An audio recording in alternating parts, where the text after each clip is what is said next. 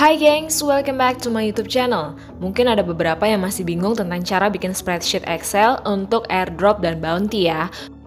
Untuk itu, AMMC akan bagi tentang gimana cara AMMC bikin spreadsheetnya dan apa aja yang ditulis dalam spreadsheet itu. Kalian bisa contoh atau tambahin kurangin sesuai kebutuhan kalian. Yuk, langsung ke pembahasan.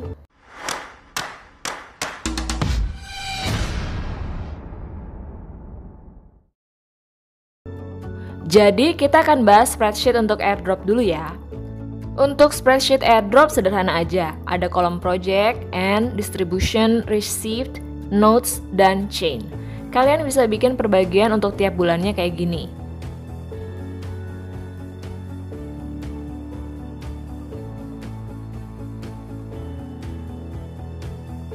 Project untuk nama proyeknya, N untuk tanggal berakhirnya airdrop, distribution untuk tanggal pembagian rewards, supaya kita bisa cek entar di tanggal distribusi itu apakah kita dapat rewards atau enggak.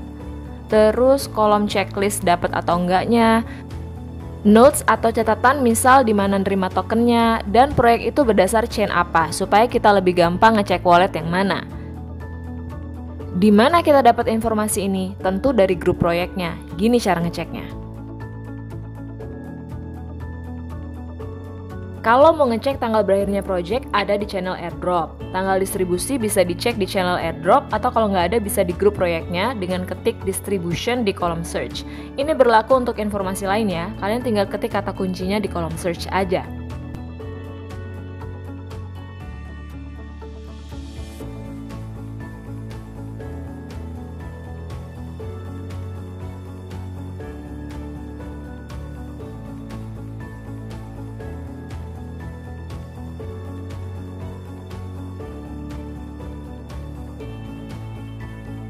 Yang selanjutnya spreadsheet untuk bounty. Yang ini agak kompleks ya karena mencakup banyak informasi dari trade bounty di Bitcoin Talk dan laporan tiap minggunya.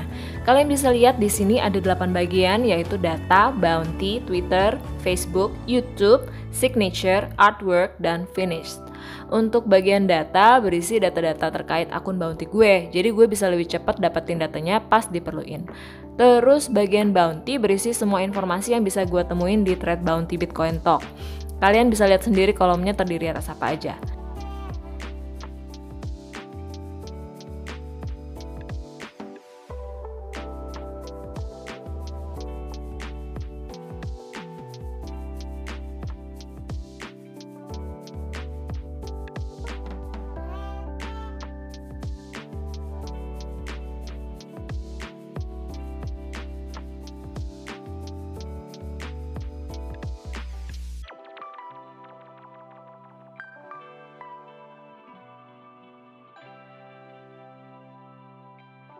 Setelah gue tulis dan paham apa aja tugas yang ada di sebuah bounty, gue putusin dan catat juga kira-kira tugas mana aja yang akan gue kerjain.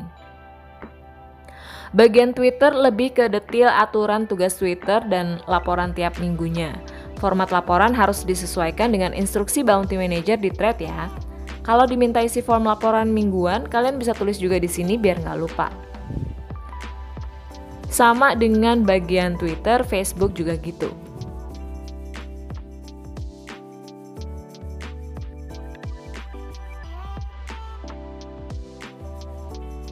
Untuk YouTube ini kebetulan bukan bounty bikin video YouTube, tapi komen di video YouTube proyeknya. Jadi laporannya gini. Untuk bagian signature kurang lebih sama aja.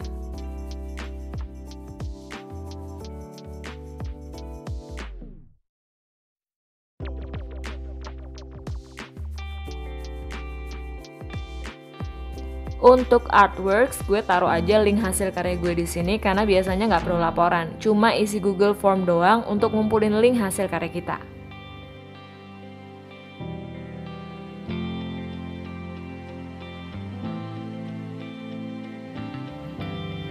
Terus terakhir bagian finish, di mana gue bisa cross check udah terima rewards belum, di chain apa dan berapa, notesnya apa, dan lain-lain. Oh ya, ada keterangan lain yang mungkin gak gue isi karena ternyata pada prakteknya gue gak sempet isi. ya, itu doang sih ya isi dari spreadsheet Excel yang gue bikin. Kalau kalian mau ngurangin dan nambahin silahkan aja dan semoga video ini bermanfaat. Sampai ketemu di video selanjutnya, bye!